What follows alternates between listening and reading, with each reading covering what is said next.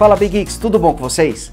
Galera, nesse vídeo nós vamos falar sobre Galaxy M52 5G, um dos melhores smartphones para você comprar na faixa dos R$ 1.700. Por esse preço você tem um aparelho com um ótimo desempenho, já pronto para as redes 5G, com um ótimo conjunto de câmeras, que vai ser atualizado para o Android 12. Ainda não recebeu aqui o meu, pelo menos ainda não recebeu o Android 12, mas eu acredito que a qualquer momento ele deve ser atualizado aí para a versão mais recente do Android. O aparelho traz uma tela legal também e o principal, seu preço. É um smartphone que realmente é uma das melhores opções para você comprar na faixa dos R$ 1.700. Mas ele não é o único. Nesse vídeo aqui eu vou falar sobre as principais características do Galaxy M52 5G, que faz desse aparelho uma das melhores opções na sua faixa de preço, mas também vou falar das principais alternativas, das principais opções ao Galaxy M52 e o que ele traz de melhor em relação aos concorrentes e onde ele perde em relação aos concorrentes. Então, para você que quer saber todos os detalhes do Galaxy M52 5G, para quem quer comprar um aparelho na faixa dos R$ 1.700 e está em dúvida se esse aqui é a melhor opção, então assista esse vídeo até o final para vocês saberem todos os detalhes e conhecerem também as melhores opções nessa faixa de preço. Mas antes, não esqueça de deixar o seu like no vídeo para ajudar o canal do Brasil Geeks a continuar crescendo. E você que ainda não é inscrito, aproveita também para se inscrever, ative o sininho para receber as notificações dos novos vídeos e torne-se Big Geek você também. E fazendo o resumo das especificações do Galaxy M52 5G, esse aparelho conta com um display Super AMOLED Plus de 6,7 polegadas com resolução Full HD Plus 2400 por 1080 pixels e taxa de atualização de 120 Hz. É uma tela com uma qualidade realmente excelente, as bordas também são bastante finas e tem um tamanho legal aqui para quem gosta de telas grandes, 6,7 polegadas, um tamanho acima da média. O aparelho ainda conta com o chipset Snapdragon 778G, que além de trazer o suporte às redes 5G, traz uma das melhores performances entre os chipsets intermediários. Ele consegue trazer um desempenho excelente, inclusive rodando jogos pesados como Asphalt 9, Call of Duty, Shadowgun Legends, Marvel Revolutions. Todos esses jogos rodam muito bem aqui no Snapdragon 778G, que equipa o Galaxy M52 5G.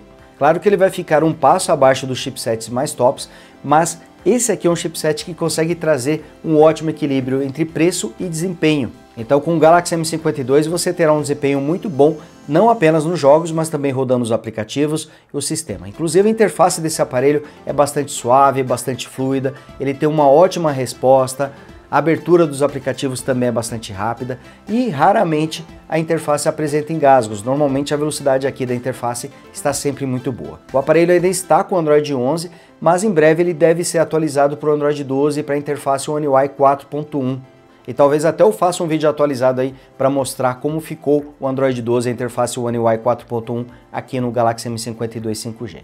O aparelho traz o acabamento simples, o que é normal em smartphones dessa categoria.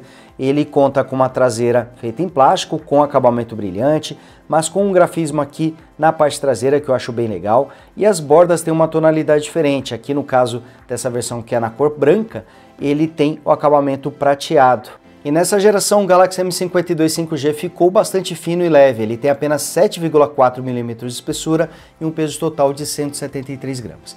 Mas isso teve um ponto negativo. O aparelho está mais fino e mais leve porque ele perdeu em capacidade de bateria. O seu antecessor, o Galaxy M51, traz uma bateria de 7.000 mAh. Curiosamente, ele está até aqui perto de mim. Então, o Galaxy M51 tem bateria de 7.000 mAh e são apenas 5.000 mAh aqui no Galaxy M52 5G. Continua sendo uma ótima capacidade, mas não há dúvida de que a autonomia dele diminuiu bastante em relação à geração anterior. Porém, no resto, o Galaxy M52 saiu ganhando. Agora ele tem um suporte redes 5G, tem um chipset bem mais poderoso, está com câmeras melhores também e ainda conta com uma telona de 6,7 polegadas e agora com taxa de atualização de 120 Hz. Infelizmente o aparelho continua com áudio mono, o som sai apenas aqui por baixo. Aqui também temos a entrada USB tipo C e o microfone utilizado para as ligações. Aqui nessa lateral fica a bandeja, infelizmente só temos dois slots, ou seja, só é possível utilizar simultaneamente dois chips ou um chip e um cartão de memória. E nessa lateral fica o botão de volume e também o sensor de tais, que também é o botão liga-desliga, aqui mostrando para vocês o bloqueio usando o sensor de tais. Deixa eu fazer mais uma vez. Ele não é instantâneo, mas costuma ser muito rápido. Mas cada vez que você bloqueia a tela, você tem que esperar uns dois segundinhos antes de utilizar de novo aqui o sensor de tais. Mas eu gosto muito dessa posição, gosto bastante aqui do sensor de tais na lateral. Ele também conta com desbloqueio facial Deixa eu fazer mais uma vez aqui para poder mostrar para vocês. E aqui mostrando hoje para vocês, como eu já falei, ele é mono, sai apenas aqui por baixo. Mas tem uma boa qualidade e também um bom volume. O Galaxy M52 5G traz Wi-Fi Dual Band, suporta as redes 2.4 e 5 GHz e também traz o NFC.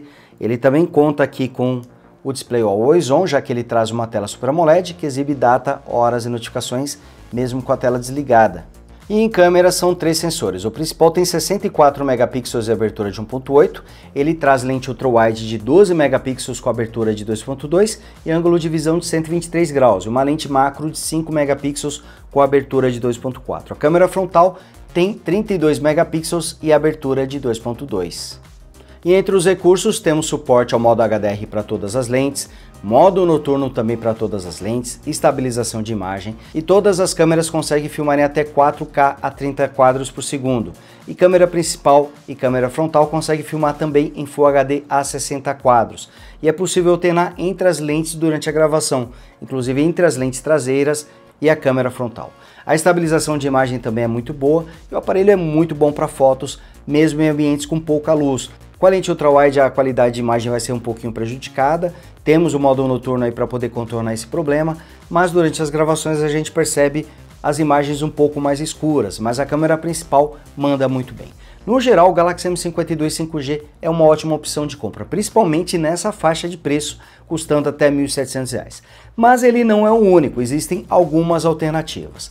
E o Galaxy M52 5G também não é um smartphone perfeito. Como destaques, temos aqui o suporte às redes 5G, a tela Super AMOLED com bom tamanho e taxa de atualização de 120 Hz, o aparelho deve receber o Android 12 em breve e também traz um ótimo conjunto de câmeras, tudo isso com um preço bastante competitivo.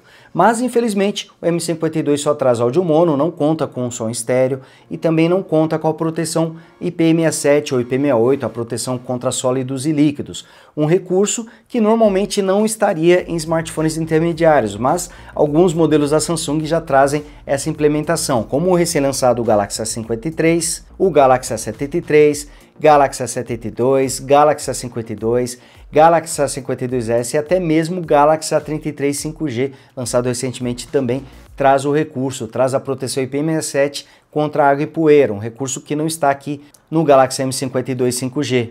Então temos aqui o Galaxy M52 5G custando na faixa dos R$ 1.700. Mas se você puder adicionar um pouquinho mais, dá para você pegar o Galaxy A52s 5G, que tem o mesmo chipset aqui do M52, o Snapdragon 778, traz o suporte às redes 5G, vem com a mesma quantidade de memória RAM e armazenamento do M52, 6 GB de RAM e 128 GB de armazenamento, e ainda conta com a proteção IP67 contra água e poeira, que não está presente aqui no M52. Porém, o A52S tem uma tela menor, são 6,5 contra 6,7 polegadas aqui do M52, mas ambos com resolução Full HD Plus e taxa de atualização de 120 Hz. O A52S também tem uma bateria menor de 4.500 mAh contra os 5.000 aqui do M52 5G. E em câmeras, apesar das diferenças de sensores, os dois aparelhos têm uma qualidade de imagem bastante parecida. E os recursos da interface de software também são bastante semelhantes entre os dois aparelhos. Mas você vai pagar um pouquinho mais também pelo A52S, ele está saindo ali na faixa de 1.800 a R$ reais, o mais comum é encontrá-lo ali entre 1.800 e 1.900 reais. Então você vai pagar uma diferença de 100, 200, talvez até 300 reais a mais em relação ao M52 para poder pegar o Galaxy A52s. Temos também o recém-lançado Galaxy A53, que vem com bateria de 5.000 mAh, tem uma tela um pouquinho menor também de 6,5 polegadas, já vem de fábrica com Android 12, mas ele também está saindo mais caro, na faixa de 2.100 a 2.200 reais.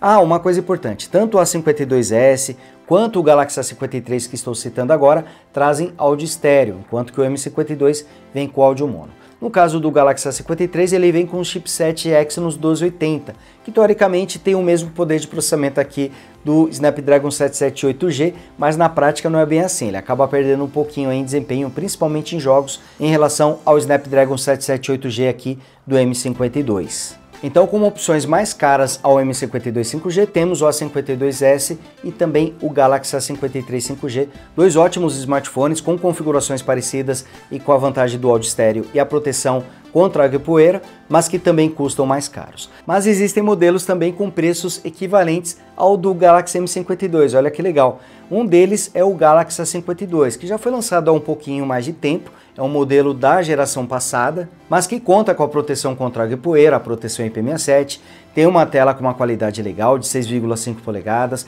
com resolução Full HD+, display Super AMOLED e taxa de atualização de 90 Hz e 6,5 polegadas. Mas assim como no A52s, a bateria do Galaxy A52 também é menor, tem 4.500 mAh. E o aparelho não traz suporte às redes 5G e vem com um chipset menos poderoso, o Snapdragon 720, que tem uma performance muito boa, mas que com certeza perde aqui para o Snapdragon 778G do Galaxy M52.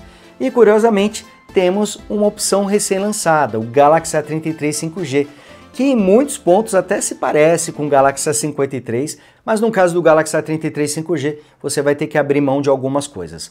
Porém, o aparelho está custando na mesma faixa de preço do Galaxy M52 5G, até um pouquinho mais barato, já que é possível encontrá-lo até por R$ 1.600, R$ 1.700, então até abaixo dos R$ 1.700 você consegue encontrar tanto o A52 quanto o recém-lançado A33 5G. E o A33 vem com suporte às redes 5G, traz o mesmo chipset do A53, o Exynos 1280, que como eu já falei para vocês, teoricamente tem a mesma performance do Snapdragon 778G, mas na prática ele acaba ficando um pouquinho abaixo. Aqui mostrando para vocês o Galaxy A33 5G, que parece muito com o A53. Ele traz algumas configurações mais simples também. A tela tem um tamanho menor, de 6,4 polegadas, traz a resolução Full HD Plus e display Super AMOLED, mas a taxa de atualização é de 90 Hz. E a câmera frontal fica no recorte formato de gota e não num furo na tela, como acontece, por exemplo, com o Galaxy M52 5G. A bateria tem 5.000 mAh e o aparelho traz a proteção contra água e poeira, a proteção IP67. Como o próprio nome diz, Galaxy A33 5G ele conta com suporte às redes 5G. As câmeras passaram por um processo de simplificação, os sensores tem uma resolução menor aqui no Galaxy A33, o sensor principal tem 48 megapixels, a ultra-wide tem 8 megapixels e a macro tem 2 megapixels, enquanto que a câmera frontal tem 13 megapixels. Então o aparelho passou por algumas simplificações, mas tem a vantagem de ser mais atual, já vi de fábrica com Android 12 e está custando até um pouco menos do que o Galaxy M52 5G. Então existem muitas boas opções ao Galaxy M52 5G, mas eu diria para vocês que pelo custo-benefício, pelo conjunto de preço e as características técnicas que o Galaxy M52 5G traz, eu acredito que seja praticamente a opção ideal. Só faltou mesmo aí o áudio estéreo e principalmente a proteção contra água e poeira, que é um recurso que está ausente nesse aparelho e está presente aí nos principais concorrentes da Samsung, mas em todo caso, o conjunto que esse aparelho traz e o seu preço fazem com que o Galaxy M52 5G seja realmente uma opção muito interessante. Então é isso, galera. Vou ficando por aqui. Não esqueçam de deixar o seu like no vídeo e deixe aí nos comentários qual que é o seu aparelho preferido dessa lista que eu passei. Qual deles você compraria? Você ficaria mesmo com o Galaxy M52 5G ou qualquer um desses que eu falei, o A53, o A33, o A52, A52S. Deixe aí nos comentários pra gente continuar esse bate-papo. E não esqueça, hein? Like no vídeo e você que ainda não é inscrito, se inscreva e torne-se Geek você também. Grande abraço e até o próximo vídeo. Fui!